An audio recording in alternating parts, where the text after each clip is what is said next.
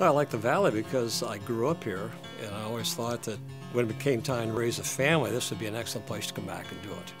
From Bellville to Butler to North Liberty, I just feel like it's a big nest that nurtures the students and the people here. We really enjoyed raising our family here in the Clear Fork Valley, and they got a great education in the Clear Fork school system. I like the Valley because everyone supports one another. I've seen from the very time I was a kindergartner through graduation to now being an educator that there's always support to help one another. I've always enjoyed it. I like the rural aspect. I like the small town values.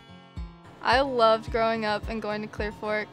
I love the community around it. I'm a sophomore at Mount Vernon Nazarene University and I'm a biology major with a focus in pre-dentistry. When I received my scholarship, I was really excited. I know going on visits beforehand, like throughout my high school career, it can be super stressful to learn how much college is going to cost. And so I was just really excited to find out that I received the Kathy Joy Carr Memorial Scholarship because it really just eased some pressure. The foundation offers grants and scholarships for leadership, for summer enrichment, for our seniors, and for teachers. When the foundation began in 1992, we were able to award seven scholarships to seniors. This year, we will be giving out 25 scholarships for a total amount of $20,500. That does not include our summer enrichment grants, our Lead by Example, or our teacher scholarships. I think the founders really felt that education was, was terribly important. And we all knew that the cost of college was going up. We, we all knew that it would be tough on families to pay for that. So we just wanted to step in and help in some fashion. And then also the other thing was to uh, eventually do some things to help our teachers. We want the foundation to continue to grow and support the schools through scholarship for the students and teachers. I graduated Clear Fork High School from 2015. I then went on to get my bachelor's and I'm now back at Clear Fork Middle School teaching agriculture. So when I received the teacher scholarship, I will say I was humbled. When I opened that check to see 1,000, I was very, very thrilled. So I would say I was surprised, I was excited, and this really helped me in pursuing my master's. In addition to receiving this scholarship as a teacher, I have also received scholarships from the foundation as a senior in high school. So I was assisted not just through getting my bachelor's, but now getting my master's.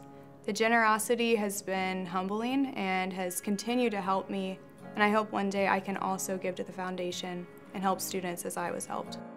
The Clear Fork Valley Foundation is a great place to, to start a scholarship because all of the money uh, is kept within the foundation. There's very little overhead. All of the trustees are volunteers. There are no paid employees.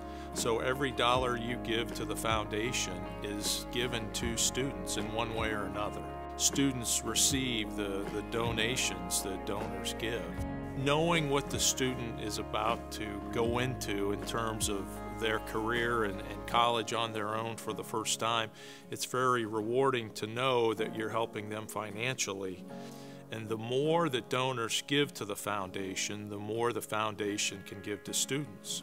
And the more students receive in the way of financial assistance, the more they can do academically.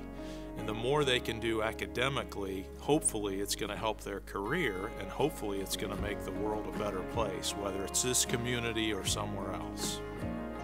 A good education is vital to any community.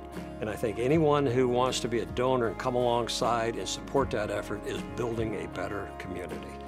The people of the Valley have been so generous in helping the Clear Fork Valley Foundation. We truly appreciate it. We hope that they continue to give to the foundation so that we can continue to support our students. Moving on in the future, I would really like to become a dentist and start a family somewhere in the area.